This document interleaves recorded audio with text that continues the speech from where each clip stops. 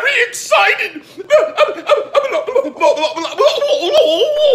Muriel, Muriel, Nuclear Tourism. Nuclear Tourism is releasing a new single called Sick of It.